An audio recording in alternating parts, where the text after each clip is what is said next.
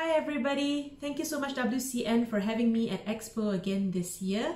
My name is Louisa, I'm from MareCet and I'm coming to you today from Kuala Lumpur, Malaysia. I'd like to speak to you today about a species of marine mammal that MareCet studies and works to protect. And it's a species that's very close to my heart, a species that many people would consider as uncharismatic yet I think is a species that deserves a lot more attention than it, than it currently receives. So today, I will speak mainly about the Indo-Pacific finless porpoises that we study here in Malaysia and some of the efforts that we do to protect them and other marine mammals that we work with. So the story begins here, back in 2010 in the Langkawi archipelago when my co-founder Fairul and myself we're just trying to start our marine mammal um, career here in Malaysia. And we were told that in Langkawi, there are these pink dolphins that uh, occur and that are in need of studying. And so we thought, okay, let's try starting a project in Langkawi and see what we get. So when we first arrived in Langkawi in October 2010, we were expecting to see this uh, pink dolphin, the pink dolphin which is the Indo-Pacific humpback dolphin that we were told about. We were expecting to see them leaping and breaching and doing tail slaps and all the things that dolphins typically do. We were expecting to see a lot of these pink dolphins as well uh, throughout our 10-day survey. We were also told that there were sometimes Bryde's whales that were seen around the archipelago. So we were very excited to keep our eyes peeled uh, for this species of whale, especially when seeing whales is something very uncommonly heard of in Malaysia. Instead, on the very first day of our very first survey ever in Langkawi, this is what we saw. Yeah. We saw Indo-Pacific finless porpoises, and this is what it typically looks like when they surface. And I remember that day very clearly. We were about 10 minutes into the start of our survey when suddenly 20 meters ahead of our bow, something dark pops up and disappears really quickly. And I thought, was that a sighting? Wait. So I, I got the skipper to stop. I said, I think I saw something, but it's gone now. Hang on. Was it a floating rubber tire? Floating coconut, but that can't be because if it's something floating, it would bob up and down. Now there was nothing bobbing up and down in the same place. So we cut the engines and we waited for another 10 minutes or so. And finally, about 100 meters away, that porpoise popped up again. Just pop, popped, popped up and left. And I thought, oh, okay, so I guess I think what we just saw was an Indo-Pacific finless porpoise. And oh my, they're not easy to study. They're not easy to track. And actually for the next 10 days of our survey, we didn't see any of those pink dolphins we were told about and we naturally also didn't see any whales. All we saw for the next 10 days were finless porpoises. And each time that we saw them, the encounter would last not more than 10 or 20 seconds. It was so frustrating. So what are finless porpoises? Finless porpoises are the small species of coastal cetaceans. They don't grow typically more than two meters in length. They are dark gray, almost a black color. And just as their name suggests, they do not have a dorsal fin like all dolphin species do. So in its place of where a dorsal fin would be on its back is what we call a tuberculed ridge. It's this compressed flattened area on the back with these nubby little um, ridges. And it has uh, a rounded head as you can see here and if you're lucky enough to catch a glimpse of uh, the porpoise actually surfacing uh, high enough out of the water, you'd see that it actually looks quite adorable. So unlike most other dolphins that have a beak or a rostrum, the finless porpoise has a rounded head. And it also um, has flattened spade-shaped teeth, unlike dolphins that have conical shaped teeth. Finless porpoises are found from the Persian Gulf all the way through South Asia, Southeast Asia, and up towards um, Hong Kong, Taiwan, and the southern parts of China. They occur in tropical shallow coastal habitats, and you can see here in the magenta box uh, is where Malaysia is, where I am from. And in particular, we study the Indo-Pacific finless porpoises on the west coast of Peninsular Malaysia. So finless porpoises, Indo-Pacific finless porpoises are the only species of porpoise that occur in Malaysia as well as Southeast Asia. And actually, finless porpoises have appeared in the literature uh, way back to the 1900s and the 1800s as well, and slightly before. As you can see here in some examples I've shown you in these really old publications during colonial times, where um, finless porpoises were already mentioned in the literature. And back then, finless porpoises were known as the little Indian porpoise as opposed to what they called the larger Indian porpoise, which is what we know today as Irrawaddy dolphins. Now you can see here how, to the untrained eye, Irrawaddy dolphins and finless porpoises can be mistaken as being the same. Of course, one obvious difference physically is that uh, Irrawaddy dolphins are larger uh, in size and they also have a dorsal fin, whereas finless porpoises lack that dorsal fin and are smaller in size. Um, they both have rounded heads, so that's why it's very easy to mistake them. And I think that these look-alike situations don't always uh, work in the porpoise's favor because they then don't stand out as having that identity of their own. But you can see that there are differences, including in the shape of their skulls. And of course, the mistaken identity crisis continues because we have found that people here often confuse and mistake finless porpoises as well for, as for dugongs. Um, dugongs are much larger. It is a large marine herbivore, but you can see here in these two side-by-side -side pictures that I've placed, on the left is actually the carcass of a finless porpoise that was found washed ashore sometime back in 2009. And on the right is a picture of a stranded dugong that we dealt with some years ago. And you can see the similarities uh, in appearance that might have led people to think that the finless porpoise on the left-hand picture is actually a dugong when it is not. So this porpoise just does not seem to stand out and stick in people's minds like whales or dolphins would. And we want to try and change that. I'd like to show you a video uh, taken from a drone of finless porpoises that uh, we observe and study in Langkawi. Keep your eyes peeled, don't blink because you might miss something quite exciting in there. Um, so here we go.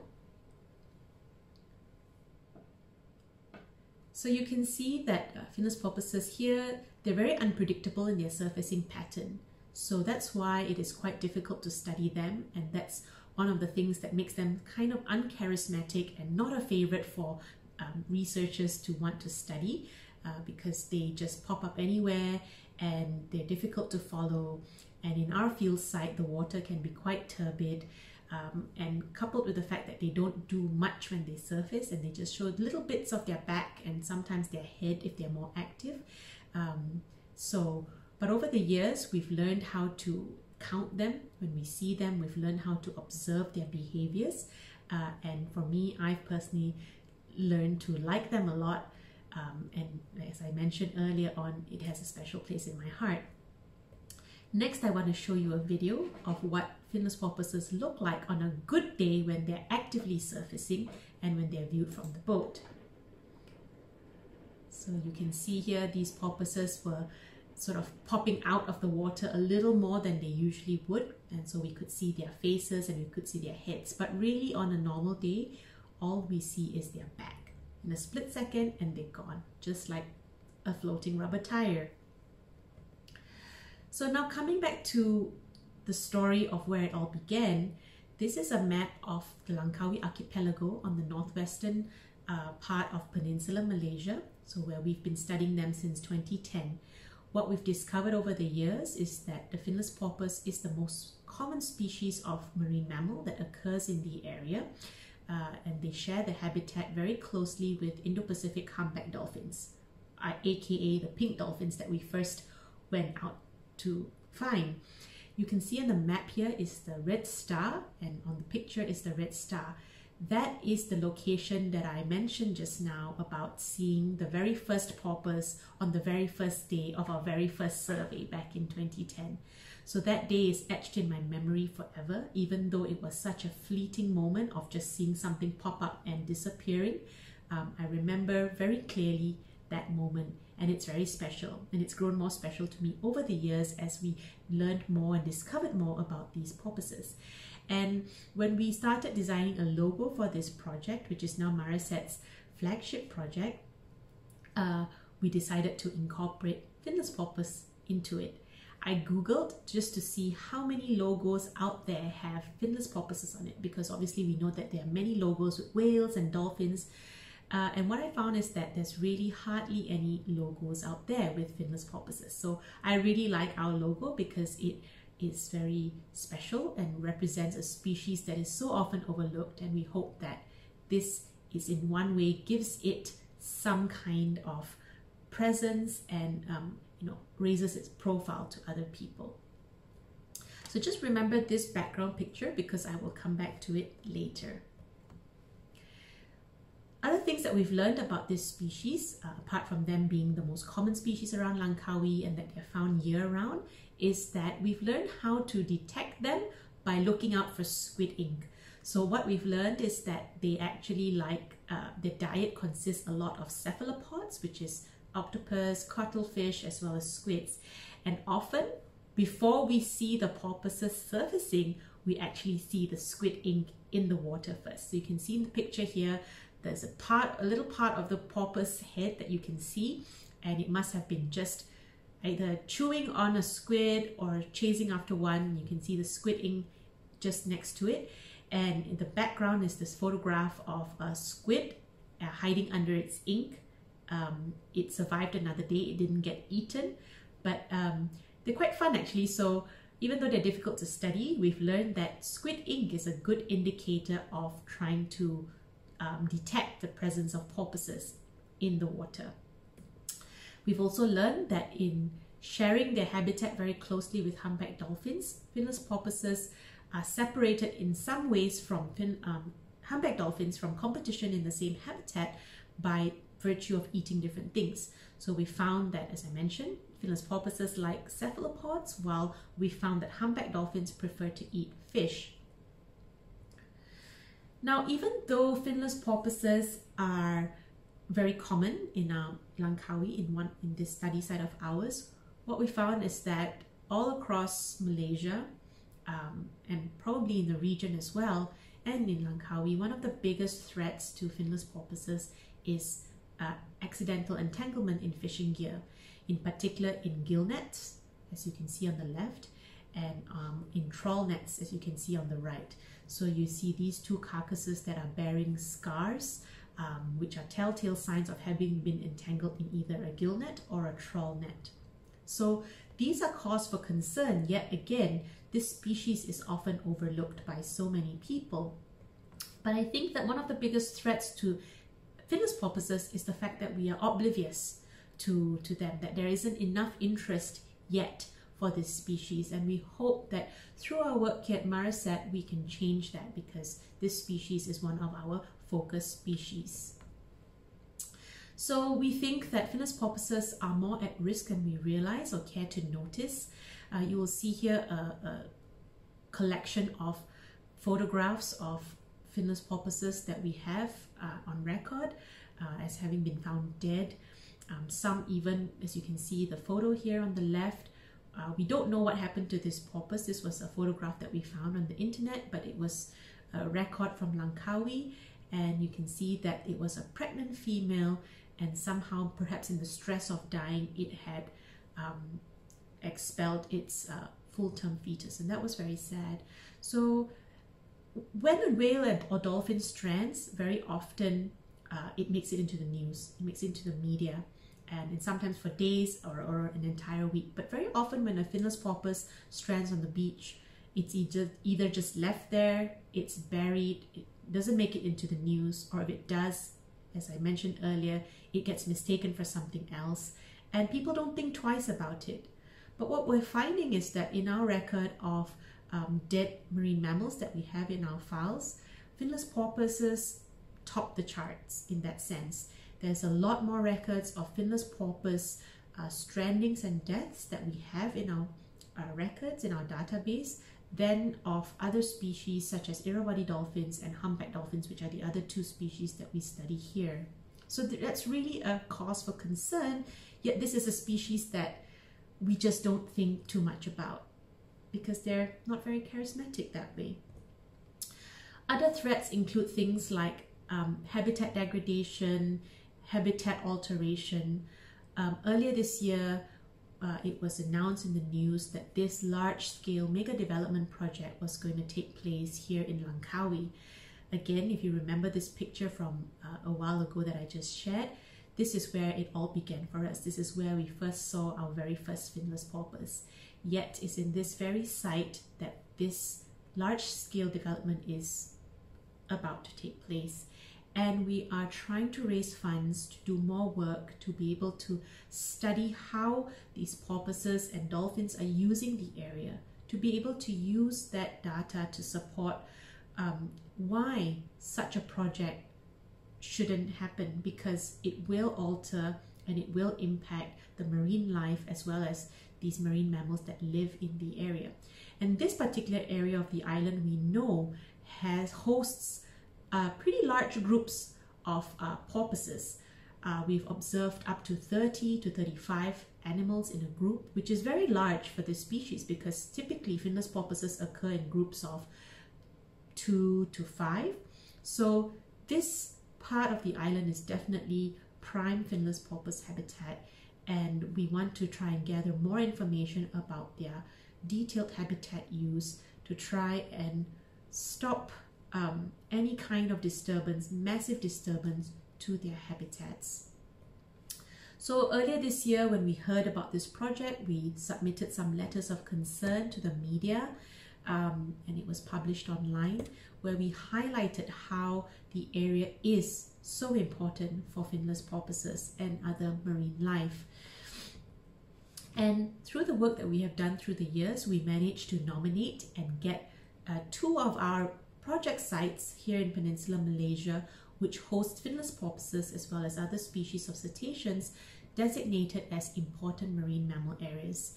And we will continue to do the work that we do and to lobby for underground protection um, for, for, the, for these areas to be formally protected uh, by our own local laws.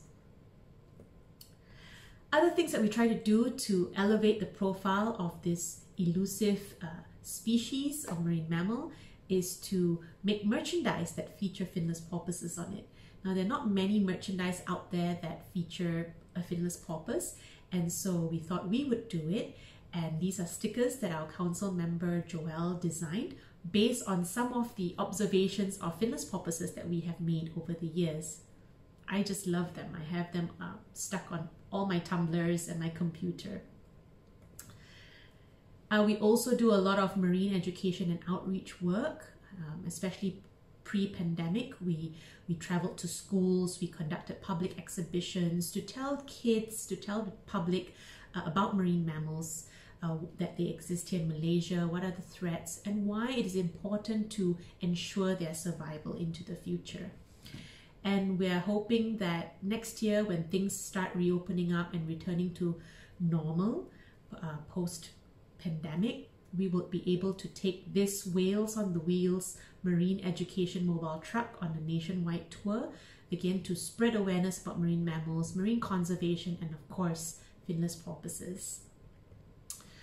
Uh, other things that we do to raise awareness with local communities include taking the local kids, for example, here in Langkawi, um, taking the local kids out to sea to search for dolphins and to search for porpoises. Because although many of them are born and raised are on the island. Many of them have never been to sea and have never seen these dolphins or porpoises. So we want to try and ignite a spirit of uh, empathy and awareness uh, within these kids and appreciation for this natural marine heritage that they have just in their backyard. We also train, do a lot of training workshops and capacity building for local communities in things like stranding response and how to sample for uh, marine mammal samples when it strands, what to do when a, a, a, dolphin or a porpoise gets entangled in a net. We try to reach out to as many people in local communities that we can. Uh, and of course, a lot of the science that we do feeds into um, lobbying for policy and developments of national management plans for marine conservation. And since the pandemic, uh, and with all the restrictions on movements and being able to do in person activities, we've had to pivot some of our work to be online. And one of the things that we have done um, is things like this virtual dolphin tour where we again we still reach out to students we still reach out to members of the public but we take them on a virtual tour uh, and a mini laboratory session virtually and we decided to try and reach more people as well um, through uh, with the work that we do by uh, starting our own blog this year. So we started Flukes for Thought by MareCet. Uh, we hope that if you have time and interest, do take a read some of the articles where we share our own personal field experiences and link it to some of the major um, conservation topics that are uh, relevant in present times. And hopefully, soon in the next few months, when uh, travel restrictions lift locally, we hope to get back to Langkawi to help these kids in the village called the Clean Village Gang build a nature gazebo for their eco learning activities, uh, where we hope to conduct more outreach programs with them as well. And um, together with the support of uh, one of the WCN supporters, we've been able to get this gazebo designed and um, hopefully we'll start construction soon. So basically, when, when working for conservation, we have to figure out better ways to make other species more visible and make those emotional connections with people. How do we make people love a harlequin toad, red colobus monkey, or tamaraw? Or in this case, finless porpoises. If you cannot tell an engaging story about these incredible animals and the threats they face, it is almost impossible to engage anyone. Each species on this planet tells us a story and we are their voices. And so I hope that I've been able to engage you with an interesting story about finless porpoises so that together we can gather more interest and raise the profile of this species that is in need of better conservation attention. So I hope that you've enjoyed today's talk. Please continue to support us. This pandemic has not been easy on us, especially this year. And it is only with your support that we can continue doing the very important work that we need to do. So thank you so much for listening. Do support us and please follow us on our social media and uh, you can reach out to us through any of these platforms. Thank you.